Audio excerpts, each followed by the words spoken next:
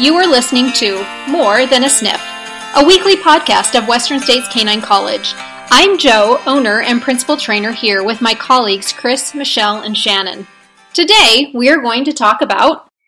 Hey, Kathryn, how are you? Hey, Joe, how are you? Good, good, thanks. So I appreciate you sharing your book, um, and I've I've been on your website, and um, so I have a ton of questions. But I first want you to kind of share your journey as a dog trainer, um, and kind of where it all started, and what was your drive to become a dog trainer, and um, then we'll get into the book. Okay. So, um, how everything started, I was telling your husband that, um, I think I was born with dogs on my brain. And I remember like begging my parents, I was the youngest of three girls, please can we get a dog? Can we get a dog? Can we get a dog? And I felt like I waited an eternity until I was in kindergarten when we finally got a dog. And I was so thrilled, but you know, they were just the family pet kind of thing. And so when I started college, I uh, decided to go into zoology. And I was at Champaign-Urbana during the school year. And then I went back to uh, Chicago during the summers and there, I, I don't know how I lucked into this, but I was able to get a keeper position at Brookfield Children's Zoo. And we had all these different educational programs and one of them was a dog demonstration, sheep herding, tracking, obedience, service work, and I was selected to be a dog trainer. So when I was 18 years old, I was working at a job at the zoo, which I absolutely love, and not only was I, you know, able to be a keeper and demonstrate, you know, you know uh, what do you call it, milking goats and cows and talking about animals. I was taught how to train dogs and I demonstrated everything from sheep herding, tracking, service work, obedience, uh, retrieving, all kinds of stuff. And so that really hooked me. And I got my very first dog when I was 19 and just became an addict. You know, we, I'd go to work at the zoo and then we'd track our dogs after work or retrieve them or whatever we were doing. And so when I started, I, I, I continued on in school and graduate school and I wasn't able, I did, you know, like the obedience ring, I did some obedience competition and tracking, uh, trials and things like that. But then once grad school really took off, I couldn't really do that, but dogs were always, trained dogs were always just a staple of mine. Uh-huh. And then, um, about four or five years ago, I, I would often have people stop me and say, wow, could you train my dogs? Because they would see how my dogs were. And I said, I, I would be like, no, I'm really busy with school. I can't do that type of thing. And then about four years ago, someone asked me, so what do you think of Cesar Millan? And I said, I don't know who that is because I was oblivious to that stuff because I had started training when I was so young and I was exposed to so many different trainers through my upbringing. I had no idea who he was. So before I started my business, I read all his books, watched all his videos, watched Ian Dunbar, um, uh, Donaldson, Jean Donaldson, you know, everybody. I just wanted to know what was out there. Uh, because if I didn't, I mean, I just wanted to make sure I covered all the bases and, you know, and then it ended up, uh, like you saw in my book, I compare, you know, the different philosophies because I had a different philosophy of training that was, you know, a combination of my experience at the zoo and my training, academic training, and my teaching of people. So I just kind of developed this technique sort of thing. Sure. And then, um, so you started your business how long ago? Four years ago? I started in 2014. Okay. And, um, and as far as when, what led to your book? So what led to my book was like I said, when I started training, I really wanted to get a feel for all the different trainers, you know, and all I kept hearing about was, you know, there's just all these different techniques and so many different philosophies. And so, like I said, when I started, I really take on, I took it on almost like another dissertation, mm-hmm. uh, where I just really wanted to understand all the research out there. And as I was looking at all these different trainers, I mean, yes, aside from Millan and uh, Ian Dunbar and all these other uh, very popular people, you see all these other folks, and they really fall into those two main categories of either being an aversive trainer or being a positive only, positive reinforcement trainer. Mm-hmm. And there was very little in between, or at least people weren't espousing that at all. It was either positive, positive only, or you were on the other side. And they almost made it like the evil side, you know, so it was like the good and the bad. Yeah. Yeah. And that was the feel that I got from that. And so, and, you know, as I was training dogs, like I said, I really developed my own techniques and I know that other people share those techniques. Um, but, you know, we came about them differently because you're not really taught those. And I just wanted to, I just had this feel, this urge that I needed to explain that you can train differently, that you can train, you know, as you think like a dog. And so that was my point. You know, I've been studying dogs for so long and so I really felt like it was really important for me to put it out there. And what, um, what was your audience or who was your audience in mind for your book? My audience that I really wanted to go for were dog owners, not necessarily trainers, but folks who are interested in training their dogs and are starting from scratch or folks who have been frustrated you know, the available techniques to them, they're either confused or they've tried a bunch of different training techniques and it's just not working. And, you know, there's, it's almost like there's an epidemic now of dogs in shelters. You know, just so many dogs getting surrendered. And I believe it's because of the inability to train them. And if they could find an easy way and a successful way to train these dogs, we wouldn't have this epidemic of all these abandoned dogs in shelters. What um, have you worked in the shelter world at all? Not really. I help folks. I've worked with uh, owners of people, people who have adopted shelter dogs, but I haven't worked in a shelter community at all. I mean, we do have several shelters and I volunteer as far as like money. So I, I do charitable contributions, things like that. But I haven't been involved in a shelter, like working on them with them or volunteering. And are your shelters uh, no-kill shelters? Yes, most of them. I mean, there are kill shelters around, but the main ones here, the Humane Society and uh, Brother Wolf in particular here in town, are no-kill shelters. And then we also have this small little group called Charlie's Angel, Angels Rescue.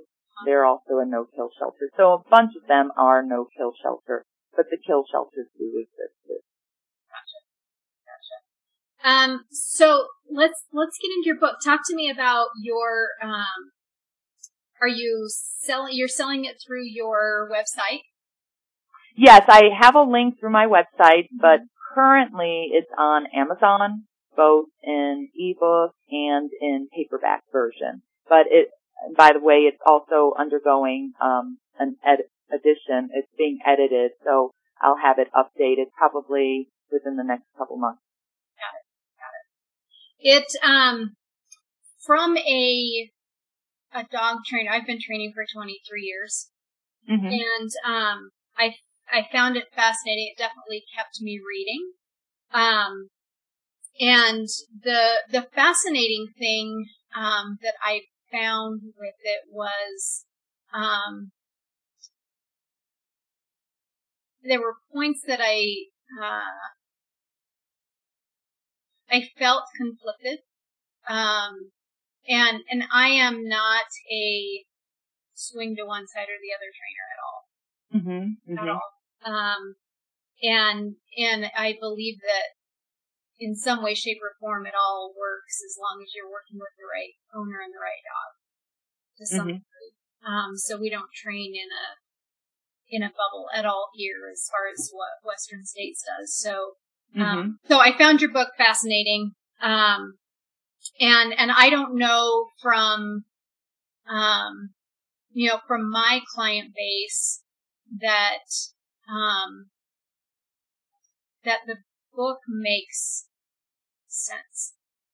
I guess is the best, is the best way from if I'm reading it. It makes sense to me as a dog trainer. I get it. I, I Uh-huh. completely understand what, um, what you are saying and I completely understand what you're, um, the point that you're trying to get across. Um, but it's, a- and it's definitely a good description to help people understand the different training styles.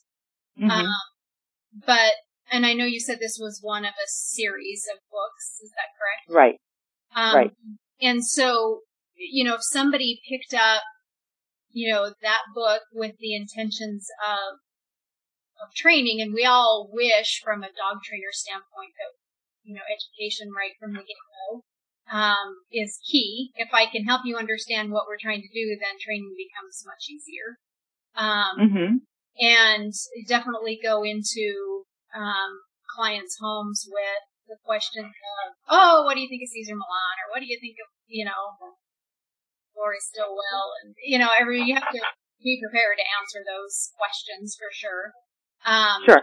And and so I I thought that your your book was written very well um, in describing and helping understand that. Um, but what I didn't find and, and what I thought was a little bit conflicting was, um, I guess the it, it came across as if you were bashing a little bit, and I I definitely Yeah, and I, that's why I'm getting it edited, and I'm really sorry if no you felt that way, and it's something that I'm trying not to do. uh, it was just, uh, seriously, that's, that's really why I needed someone else to look at it. But, you know, early on, you don't have a huge amount of resources Yep. to get it professionally edited, you know, and so that's why I'm having someone else look at it. And I'm really trying not to bash. I, I really didn't, but I, I guess one of the things that happens here, and I don't know how it is in Utah, but if you are here as a trainer, uh, in especially Western North Carolina, if you are not a positive only trainer, Yeah. you really get bashed. I mean, it's, In- it's in really, uh, pardon? in what way? Uh, you get criticized, you're told that you're, you know, uh, mean, uh, unorthodox, whatever. People, one time I was sitting with this woman, we were just talking about dogs and, you know, she knew I was a dog trainer Mhm. and I mentioned how to use a prong collar the right way and she got so upset with me, started crying and stormed out of the party. And we were just chatting and I was shocked that she took it so emotionally. And earlier in the conversation, you know, I was just uh, explaining how dogs play with one another and how dogs play with one another isn't necessarily how humans play with one another. Right. And so that can be a little bit, you know, like, wow, that's pretty harsh. Yeah. And this person said, that's why I don't allow my dogs to play with one another. Yeah. And I said, wow, really? Yeah. Yeah. And I just found that astounding that it's not allowed. And so there, there, and all the shelters, one of the reasons that I don't really work with the shelters, um, on a regular basis, and I hope this changes, is because they don't want anything but harnesses used for all dogs. You know, even a 80, 90 pound pit bull. Yeah. And that's really tough. Yeah. I'm 125 pounds and I'm no match physically Yeah. for a pit bull that's 90 pounds on a harness. Yeah. Yeah. Yeah. It's um. So here in Utah, it, it's kind of a mixed bag. Um, Uh huh. There's I don't know that bashing. I don't. I don't feel like there's bashing here in Utah. There's some strong opinions, um, but I think it's a little bit more humbling here because um, those of us that are not all positive and not all negative, um, we have we take on a lot of their clients that are mm-hmm. um, right, and maybe some of the brick and mortar. I'm, I'm not a brick and mortar facility. We are custom in home training, mm-hmm. and so we're going into homes that people are finally so frustrated with them. Right. Um, that, you know, I can't do anything without food. I don't know how to discipline my dog. I can't get him to stop getting on the counter. So we do a lot of um, in-home behavior stuff that a lot of the positive trainers don't necessarily specialize in um, mm-hmm. to a deep extent. And so um, I I don't get it. Um, I I think that some of the strictly shock collar trainers see more of that um, mm-hmm. because they, you know, they'll take your dog for two weeks, put him on an e-collar, and then, right. you know, send him home. And, and sure, anybody, I think anybody can do that. Anybody can do that. Right. And you can get any dog to do that, working off of a of a shock collar. But I I have used them for certain scenarios, and and um, likewise. So, but not on. I don't use them on a regular basis no, at all for no. obedience training. Nope, nope, not at all. And nor do I yeah. use it for behavioral stuff. Um, I I use it for our bird dogs here that have big open running bubbles that need a recall. Um, that you know that with our open country here and all the temptations of life, you know, wildlife that um, some of them need to be on it, and that's about the core of our. So I'm not.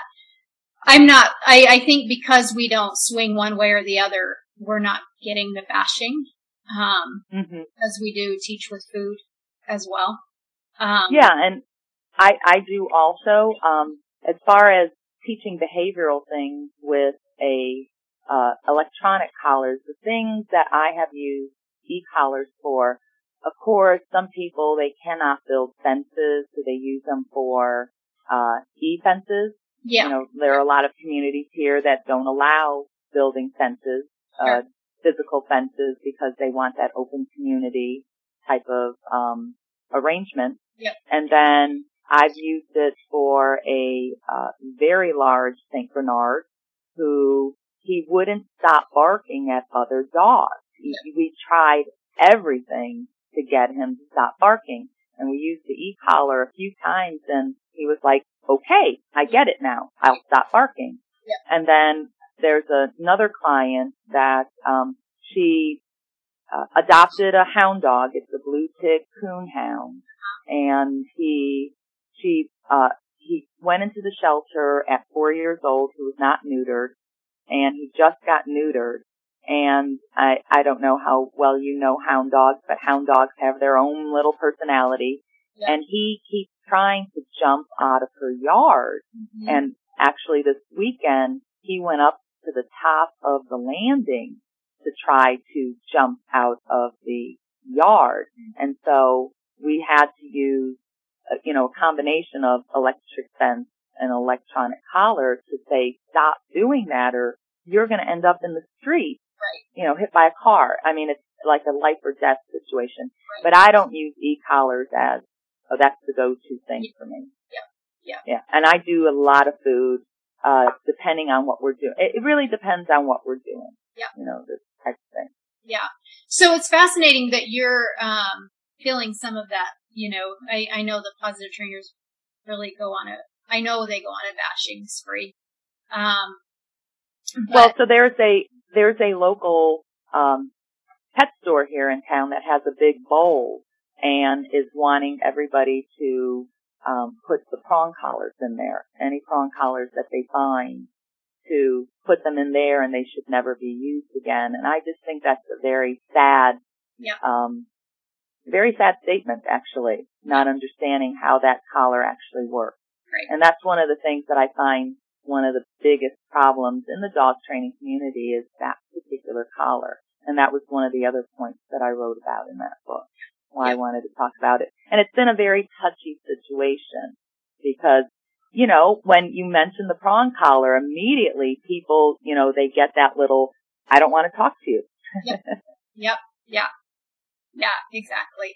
And I think it's, um, it, it's a, it's a, a fascinating world that's evolved from when I was training 23 years ago. Um, mm-hmm. dope collars. Um, for the longest time I used, uh, you know, I used prong collars and I'm not, I've got some dogs on them and others I don't. Um, mm-hmm. but, um, it's definitely evolved into a hard state from respecting the dog for the dog and not humanizing them. Um, right. Where we've humanized them, uh, severely. And, and it right. becomes challenging to, um, trainers that are educated enough from the mind of the dog. Um, I'm going to kind of turn some questions over to Shannon and Michelle. Um, sure. And uh, see what questions they have about your book. Okay. Okay. I wrote them down. I'm just getting them out. okay. Mm-hmm.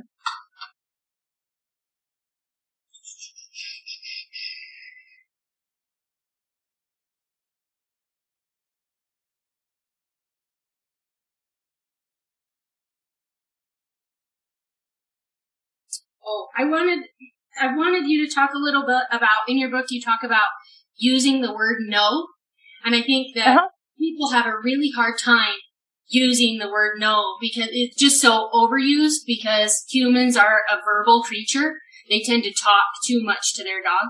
So I just wanted um, you to express for our listeners some of your ideas about how you um, use the word no in your training. Okay, well, sure. So, um, and that was one of the things that I found uh, fascinating. Like I said, I I started in 2014, and so I've been doing a lot of just observing and uh, talking to folks like um, Joe had mentioned, where she'll get clients who are frustrated because they've used other trainers and they just don't know what to do. And I have been told that people don't train the word no in uh, many cases. Uh, you know, they'll use sounds and stuff like that, but instead of using no.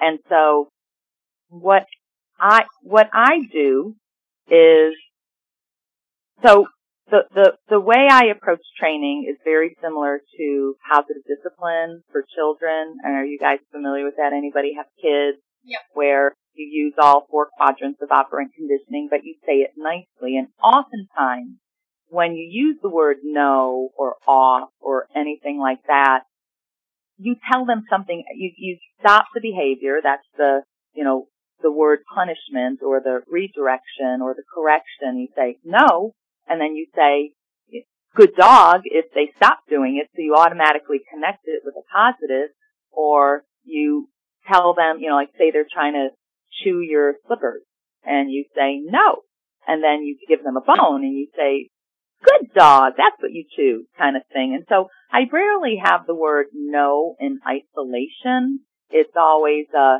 you know, like stop that and let's move on to something different. Uh, same, you know, like when you're, if you have to give a correction, I, I was always taught when I'm giving a leash correction, you always combine it with a positive.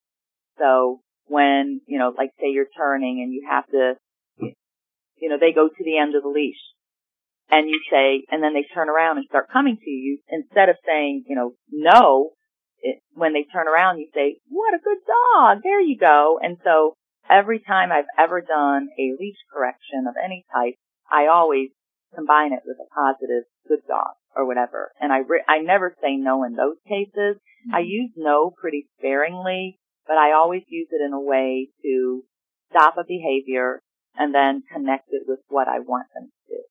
Does that make sense? Yep. Okay. Yeah. Yeah.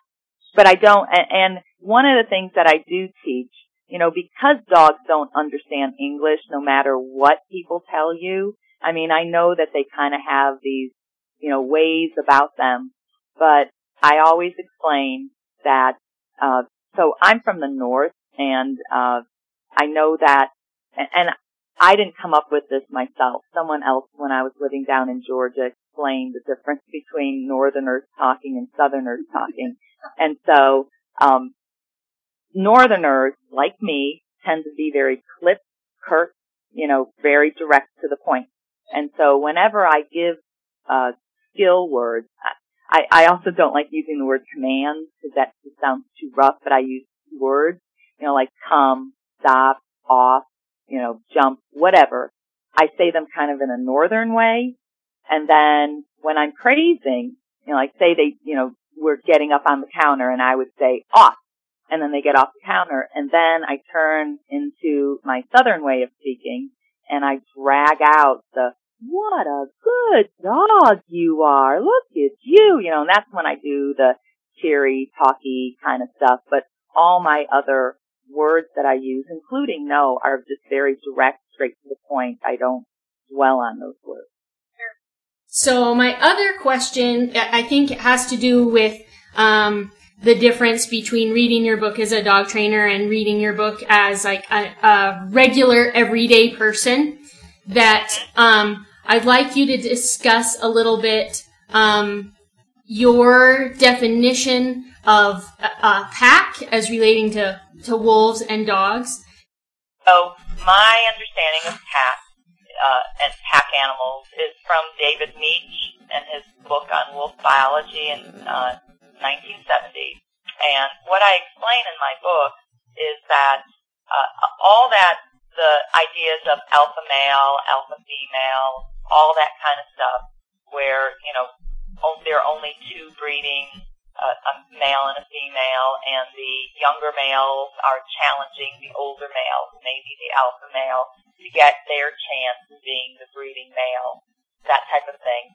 And that was the construct of a pack. And that's not how, when the wolves were released, in 1995 in Yellowstone and then followed for three, four years, that's not the scenario that uh, wolves naturally form when they are in the wild of uh, western United States. They form small family groups where mom and dad and they pair up as pairs and they have a generation or two of kids just like we have, like humans, you know, in their households, they have their children, sometimes they have their grandchildren or something like that. And we live in a community, but we're not necessarily packed, like, you know, you and your, say you have, you, you and your husband and five kids, let's just say. You're not called a pack, you're called a family group because you're all related. And the problem with the idea of, or what I saw was the conflict is that many times pack animals are not related to one another as opposed to being a family group where you have a, you know, the man, main male and female and all of the other members within that little group that hang out together are related to that male and female as being their offspring. So that's why, you know, David Mech was the person who said dogs are not pack animals, they form family groups. And, you know, you can't, you know, like, hang out with friends and sometimes, you know, the rat pack and all that kind of stuff. They use that term as a pack. But as far as what they naturally form in the wild, at least as far as the wolves are concerned, are not packs, but family groups or extended family groups. So you're what you're what you're trying to um, convey in the book is that um, the pack mentality of training, where we have this alpha type behavior, um, is more so um, just for you know simple understanding for our listeners is um, a pack would be more like a gang right? You've got you've Absolutely. got the ones in charge, and then everybody kind of follows and you know submits to Absolutely. the rules of of the gang. Whereas um, with the dogs, um, we we've domesticated them one into our family, but also, you know, that is correct. Um, with the wolves is they they definitely are family oriented, but we have defined them as a pack, and so therefore somehow we have to have this alpha type training behavior so the dog understands what what we're trying to accomplish. Correct? I guess in both cases, you know, the trainer, if you want to call him the alpha you know, male or female alpha individual, or they're just a parent. Yeah, they're the and leaders. So always just like mom and dad would yeah. teach their babies to do certain things. You don't have to be the leader, dude. Um, and, you know, dogs do, you know, wild dogs, dogs that are feral, they do form packs. Yeah, they do. And that's when they get dangerous. Yep. Is, you know, they can uh, gang up and you know, beat up neighborhood dogs or something like that. Right. And that's Yeah. So as far as overall, um, what what our style is here and what you're doing is very similar. And I teach people all the time. It doesn't matter if you're alpha as long as you can lead and be a a source for your dog of safety and food and um, and the rules, um, and that we don't um, I, I have three kids, and I think probably two of them are much more alpha, if we want to use that word, than I am. Um, and and I'm okay with that, right? We don't try and change our kids to be submissive to us as parents, um, and that's how I describe it to my clients, where they come in and say, "I'm just not alpha enough," and I'm like, "That's all right. You don't have to be." Um, and so, you know, I think that comes from, you know, one, it's very conflicting where we've humanized our dogs and it's all positive um, type training. Um, and I'm not saying that you know we as human beings should be giving our kids candy bars for bad grades, but um, but in, but in the same breath, we live in a world with consequences and rules and expectations, um, and I think that's where dog owners get hung up is, well, I can't be, quote, mean to my dog, but yet I'm not really alpha and I don't know what to do and I don't know how to do that. So, um, so I, I would definitely be interested in reading um, the edited version of your book. Um, uh, it's definitely from a dog trainer standpoint. I, I understand and get what you're trying to say from a client's perspective or a dog owner's perspective. Um, it's pretty deep. It's a good deep, but it's pretty deep. Right. So my book, this first volume, is called a philosophy primer, and I did I, I wanted to make sure people understood that it wasn't a how-to book. Uh-huh. I was trying to lay the groundwork for you know how to sure. approach differently. And one of the things that I do think uh, clients uh, non-trainers and trainers actually need is a really thorough understanding of really what operant conditioning really means. Right. And I do try to explain that some, but it can get very detailed and a real yawner for, you know, a lot of people that they just, you know, they're just like, I just want to train my dog. Right. I don't want to psychology 101. Yep. Yep. But I think that one of the biggest problems that happen, uh, and you know, it's just the nature of the beast. So when B.F. Skinner did his work, uh, he, it was either punishment or reinforcement because the punishment was a shock, and the food, uh, and the reinforcement was the food, and there was absolutely no gray area area in between. Right. And they were also working with rats and pigeons in a box. Yep. As opposed to in the outside world in reality. And so, and I do also know that just those terms, positive and negative, of course, positive is going to make everybody think that's good. Right. And negative means that's bad. Yep. And that has nothing to do with good or bad when you're actually talking about operant conditioning. It just means adding something or taking away something. and it, you know you can put the emotional value into whatever you're adding or taking away, but it doesn't mean happiness is positive and sadness and mean is being negative. Correct. Yeah. That gets very confusing. Yeah. And that was one of the other reasons that I wanted to explain that clearly. And, you know, I, I find myself oftentimes, uh, the book actually started just, you know, I, I sit down with clients and I try to explain a different way of training, especially the folks that are frustrated.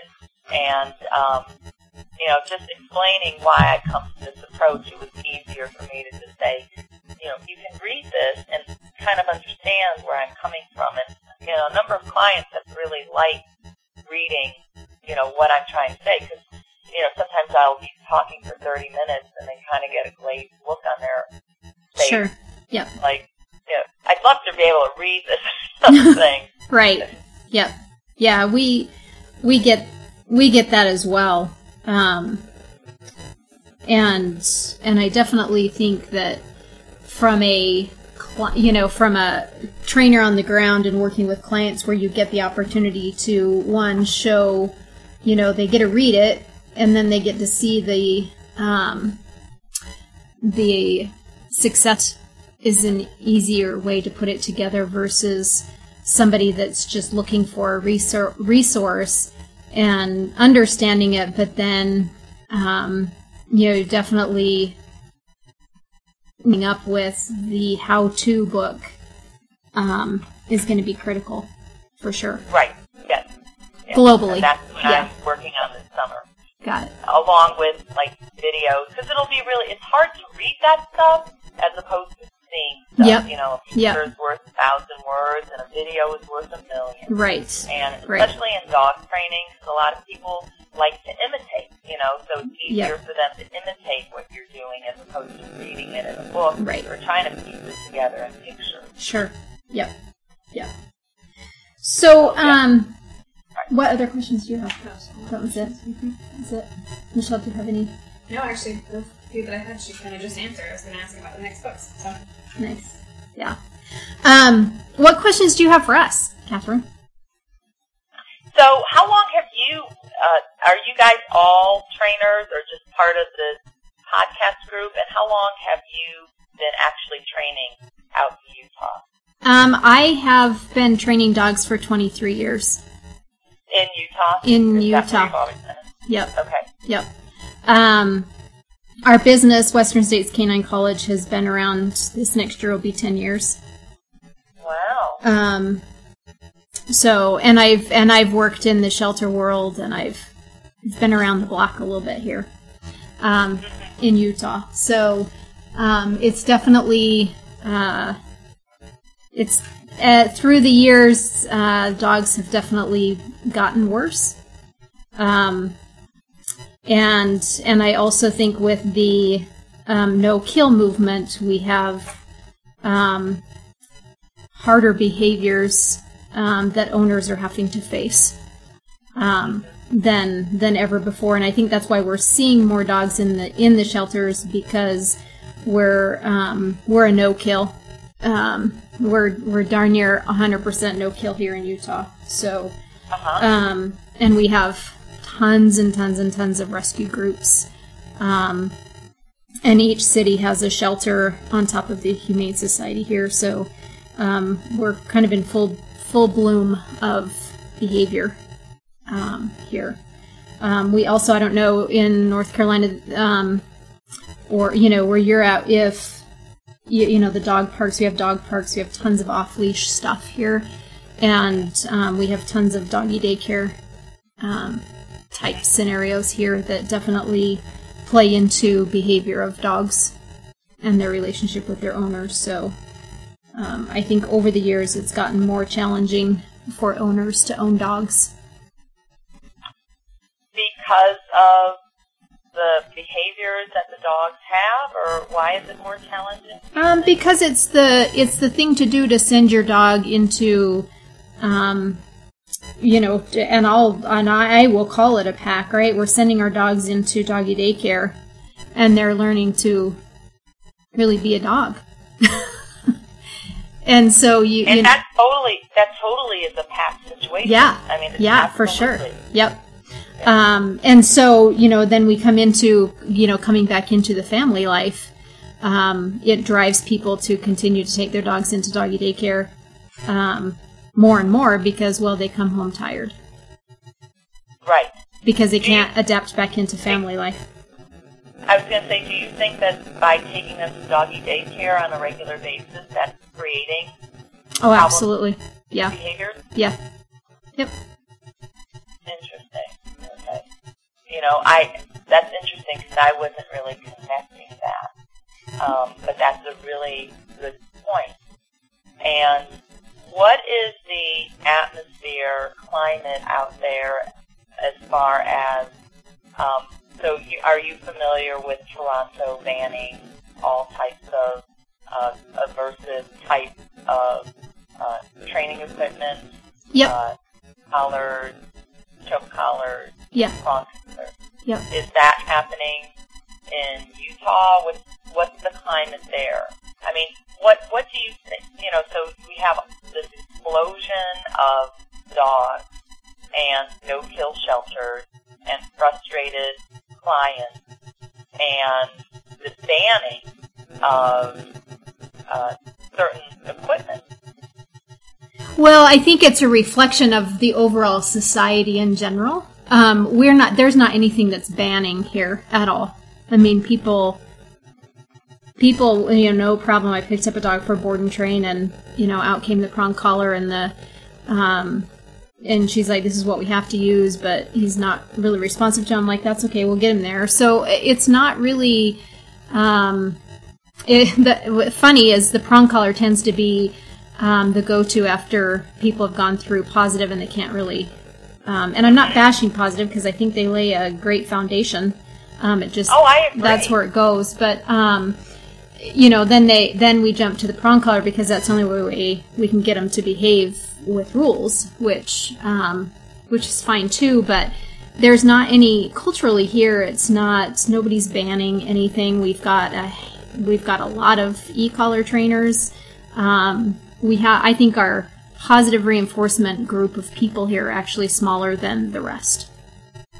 Wow, yeah, that's very different from here.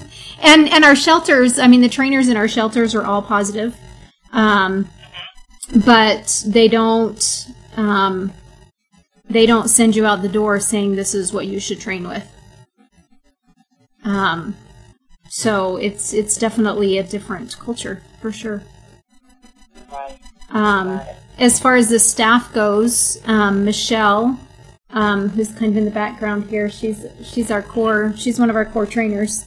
Um, Uh huh.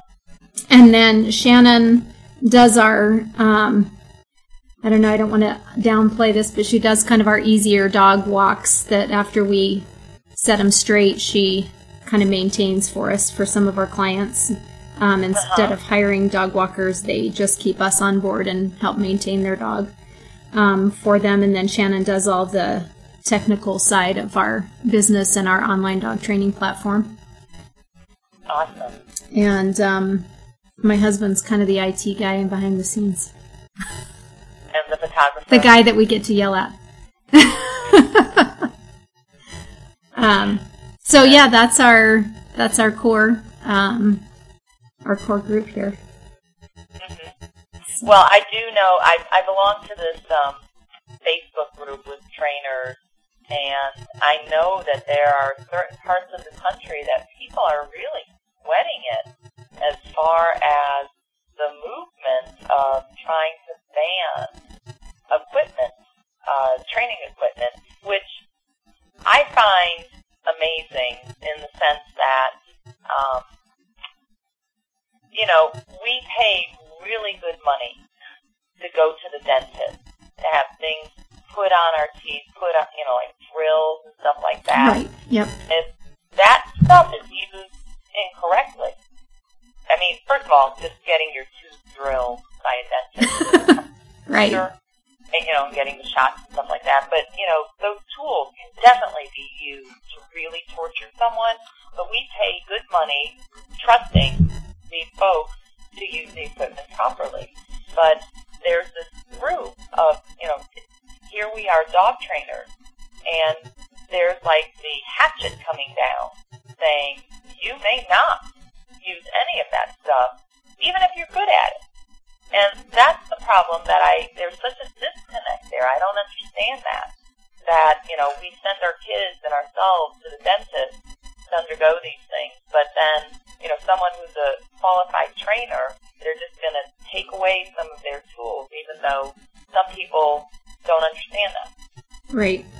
I, I think some of the hard pieces is is that I can find hundreds of YouTube videos with harnesses and head collars used in a very mean way that I'm appalled at.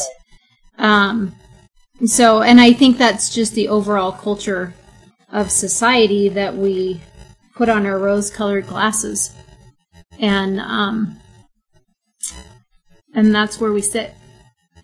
And so, therefore, if something sounds mean, then we shouldn't do it. And um, I think it's, uh, you know, for me, I just feel like it's the overall culture of the meanness that is happening in society overall.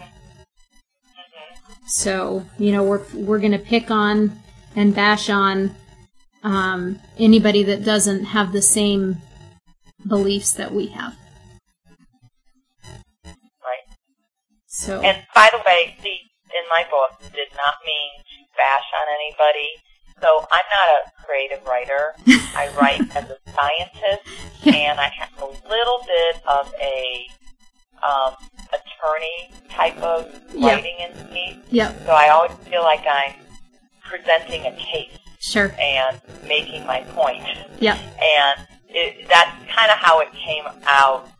And that's why I got this editor to soften it up. Yeah. And I do not mean any disrespect to anybody. And I do find a lot of positives from other trainers. It was just, you know, I guess I was kind of coming from a place of, you know, nobody understands this. And I'm just saying that this stuff is okay. Yeah. You know, it's not evil. yep, And uh, anyway, so hopefully in the updated version it won't seem like bashing. but I was, like I said, I'm a very dry writer, and if anything, I kind of felt like I was presenting a, a, a an oral brief or a written Sure. brief of I, you know, this is okay to train. Right? yep, yep. And um, yeah, I can tell you're very passionate about what you do, and I I think that's fabulous. And I, I, I mean, the, the one thing I absolutely love being able to, you know, I do get reject clients, you know, that they've gone to several other clients, uh, several, several other uh, trainers, and they're, I've had several say, this is it. If I can't get this dog trained, Yeah. I'm going to surrender them. Yep, Or I just adopted this dog and I think I have to take him back and it's been taken back twice before. And when you can make changes in these lives and they're just like, wow, I can't believe it. I, I, I actually have a client, one of my first clients I worked with, and she has a, it's like a Malamute pit bull mix who has those blue glass eyes. yep, I mean, just a crazy looking dog, and Huh. he was afraid of him. And so the first time I went in, you know, I had to work with her to be able to pick up a bone when he's looking at her, yep, or pick the dog bone. Anyway, uh, fast forward two years later, she was with her two dogs, including him, walking at the local dog park, and someone stopped her and said, "Are you a professional trainer?" And she just started laughing, and she goes, "No, but I have one that you can use." And this dog adores her. I mean, all she comes to my group sessions now, Uh-huh. and he can't dive off of her. And you know, now they're so bonded, and just to be able to make that type of difference for someone where they're like on the fence, I think I have to give him up because I can't handle him. To, sure, Wow, the dog loves me. yep. It, it's just so satisfying, and that's what is driving me to stay in this particular field. I really love it. That's great. That's great. Do you feel uh, business is good and successful and life's going Yeah, and it's getting better and better. You know, I Good. made it through those first two years are kind of tough years. And, you know, I've been teaching along with training. I'm not full time yet. Okay. but I'm, by the end of this year, I can you know, stop doing, I, I adjunct teach, uh, typically anatomy and physiology, human anatomy and physiology. Okay. Uh-huh. And I'm thinking I can, you know, leave the academic adjunct world behind and just be able to focus on dog training. Good for you. It's Yeah. a journey. It is, and it's a fun journey, and it's fun for people like you guys. And I'm really, really, you know, I'm very thankful for that, and I love connecting. I, I mean, how would I ever connect with a trainer in Utah? right. You know, Yep. I love the social media aspect of it, and Yeah. it's so fun that dogs, you know, lots of people like to look at dog pictures. Yes, they And do. that's what makes it really fun. Yep. For sure. For sure. do love their dogs. And, you know, you know, I teach anatomy and physiology and I also teach nutrition and, you know, I know how healthy it is to have a really good relationship with not only a human but an animal.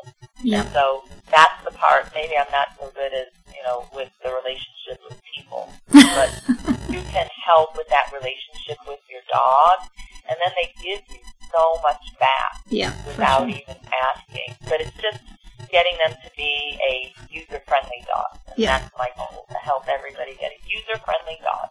That's great. That's awesome. Do you have any other questions for us? I, uh, I don't think so. This has been really fun. It's been fabulous, and when we um, we're ahead um, on our podcast, so when we um, post it and go live with it, I will definitely let you Uh-huh. know and just share it out there. It's been it's been fabulous talking with you, and um, Likewise. we look forward to other books and having you on the show more.